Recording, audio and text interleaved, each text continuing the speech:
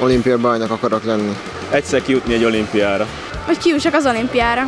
Hogy kiussak a téli olimpiára. Jelen helyzetben az, hogy mindenki egészséges maradjon, és ö, továbbra is a körünkben legyen, és ö, Hát azt gondolom, hogy már eddig is minden teljesült életemben, nagyon szép családomban, azt csinálom, amit szeretek, ugye itt az MTK-nál edzősködöm, úgyhogy ha ez így továbbra is folytatódik, akkor én azzal rendben leszek.